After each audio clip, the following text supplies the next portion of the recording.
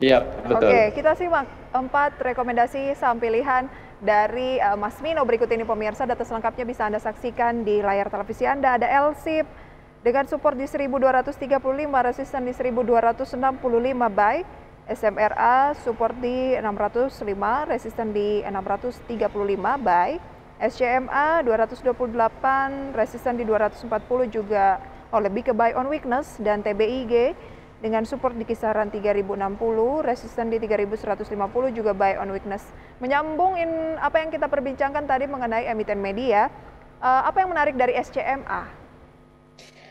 Ya, uh, sebagai catatan mungkin uh, saya uh, uh, beli apa uh, bahwa rekomendasi tadi itu yang empat itu adalah rekomendasi uh, trading ya, uh, lebih ke uh, jangka pendek dan itu memang kita lebih melihat dari sisi pergerakan harganya gitu. Hmm. Jadi memang kalau dari sisi chart ya uh, untuk uh, SMA uh, trennya masih cukup menarik walaupun uh, dalam beberapa hari uh, mengalami tekanan gitu uh, Mbak Prisa. Jadi uh, momen tersebut saya pikir itu bisa dimanfaatkan untuk uh, buy on weakness. Gitu. Baik, buy on weakness untuk trading jangka pendek saja begitu ya Mas Mino.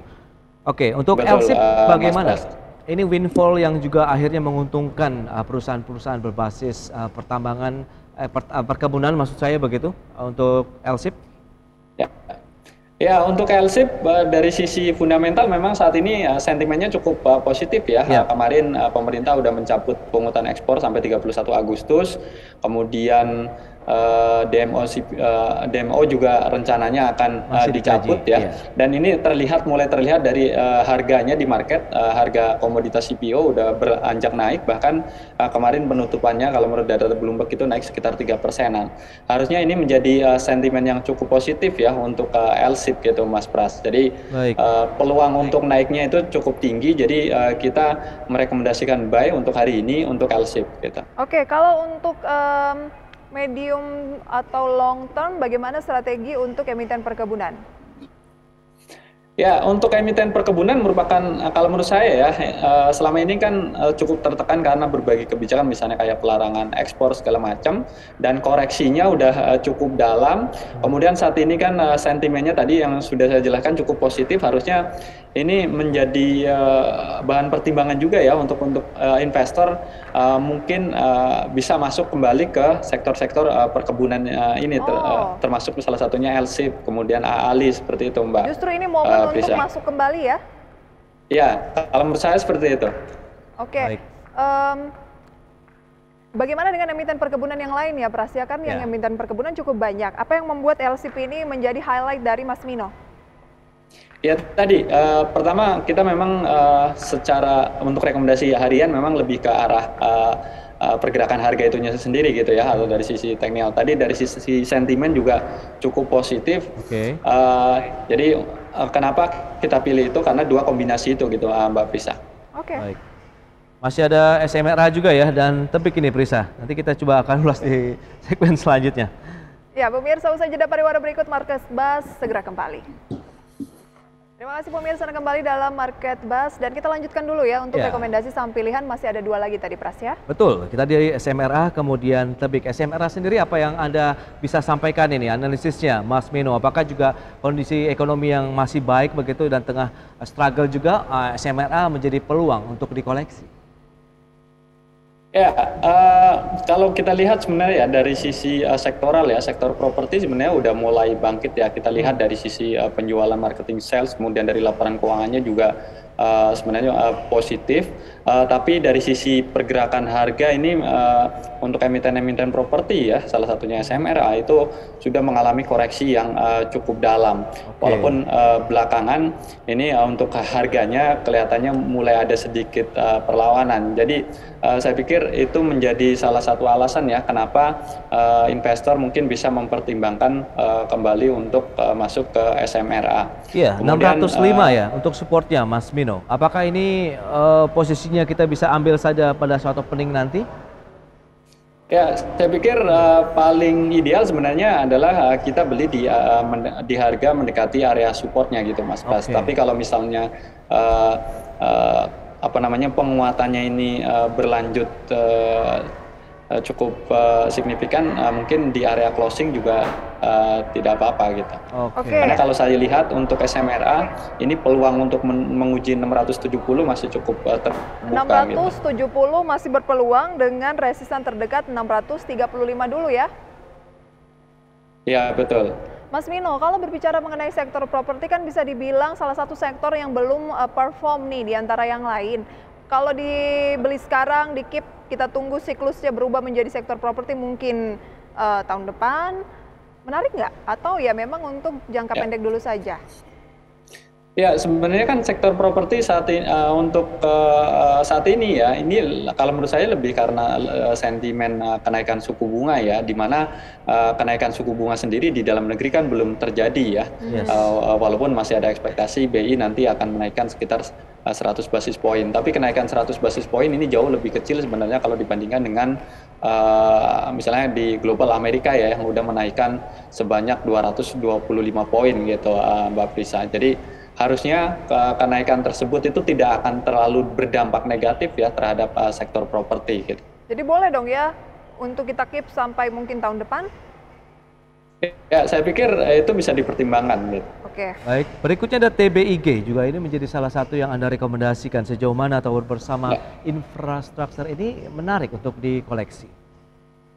Ya, untuk TBIK kan belakangan uh, sedang melakukan aksi uh, korporasi yaitu buyback saham ya. Dan kebetulan dua hari terakhir uh, harga sahamnya uh, mengalami koreksi dan ini tentunya menjadi momen yang tepat ya kalau menurut kita untuk uh, buy on weakness gitu uh, Mas Pras. Oh, Karena secara umum sebenarnya yeah uh, tren dari harga tebik juga masih uh, cukup positif uh, seiring tadi ya adanya aksi buyback. Hmm. Kemudian dari sisi sektoral sebenarnya sektor telekomunikasi dan infrastruktur pendukungnya juga uh, prospek ke depannya masih cukup cerah ya, apalagi uh, konsumsi data juga terus meningkat, teknologi terkait dengan telekomunikasi juga terus berkembang. Yeah. Ya. Uh, jadi peluang untuk sektor ini terus bertumbuh saya pikir masih cukup besar. Betul. Okay. Secara tren memang sedang menunjukkan kenaikan dalam satu bulan terakhir, kemudian dua yeah. hari terakhir mengalami tekanan lebih kepada koreksi wajar saja setelah naik cukup kencang begitu Mas Min.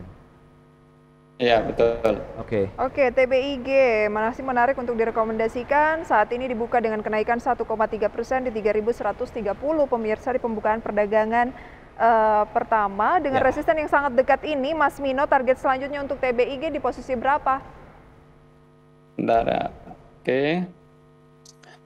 Oke. Oke, untuk uh, eh, TBIG sebenarnya untuk jangka pendek ya, uh, ini tentunya berpeluang untuk kembali menguji resist yang uh, tertinggi paling dekat yaitu di 3260 gitu ah, Mbak Prisa. 3260. itu level-level yang kemungkinan ya 3260 itu level-level yang kemungkinan besar masih akan okay. bisa kembali dicoba okay. uh, oleh uh, tebik kita. Rencananya di awal Agustus juga akan ada Moratelindo yang akan IPO. Kita tunggu saja apakah juga akan ngaruh untuk emiten-emiten yang sejenis gitu ya.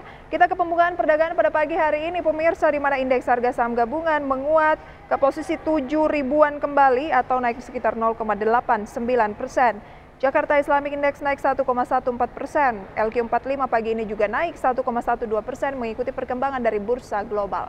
Dan selanjutnya kita lihat saham-saham apa saja yang menjadi pendorong indeks harga saham gabungan hari ini menghijau. Ya, seperti yang bisa Anda saksikan ada Astra Internasional, kemudian Bank BCA, Kemudian ada bank lagi yaitu Bank BRI dan United Tractor. Ini dia saham-saham yang menjadi deretan top gainer. Lanjut kita lihat bagaimana dengan saham-saham top loser itu apa saja. Ada Gudang Garam, kemudian Sido, MNCN dan TRGU. Itu yang membuat indeks ini nampaknya sudah mulai ada sedikit uh, tekanan aksi jual di pagi hari. Oke, itu dia ya.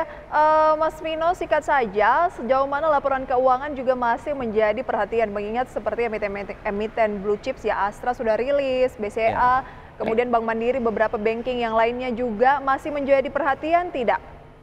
Ya, uh, tentunya masih sangat menjadi perhatian ya karena uh, ini menjadi konfirmasi apakah benar bahwa uh, selama ini pelemahan market itu lebih di, disebabkan oleh faktor eksternal gitu. Kalau misalnya kinerja mereka ternyata memang masih kuat ya itu artinya terkonfirmasi gitu. Jadi uh, sentimen eksternal lebih mendominasi dan itu tadi ya uh, sebagai kesempatan tentunya saat ini untuk uh, kembali masuk ke mereka dengan melihat laporan kinerja mereka yang masih cukup solid gitu Mbak Frisa tips perdagangan uh, Mas Mino karena rata-rata tadi Anda katakan trading, apakah memang ya lebih cocoknya saat ini jangka pendek dulu saja trading?